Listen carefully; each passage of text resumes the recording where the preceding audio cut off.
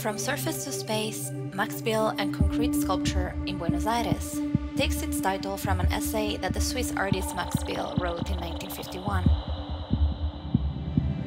In this text, Bill proposed that artworks should energize three-dimensional space and mobilize the viewer.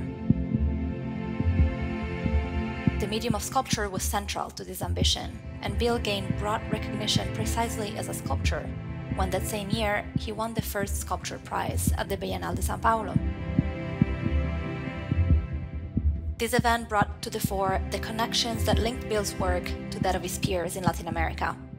In particular, his concerns powerfully resonated with artists in Buenos Aires who participated in the avant-garde groups Asociación Arte Concreto Invención and Arte Madi.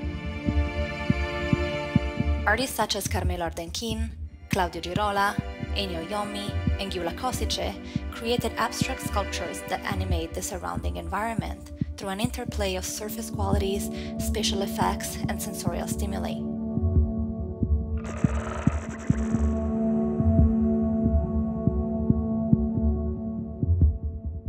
Others, such as Lidy Prati, produce drawings that elicit ambiguous spatial experiences through rich textural effects and simultaneous impressions of transparency and opacity.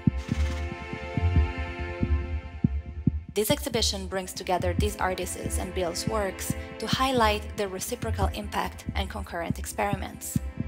It shows their shared desire to foster interactive encounters between artworks and viewers and to integrate the spaces of art and life.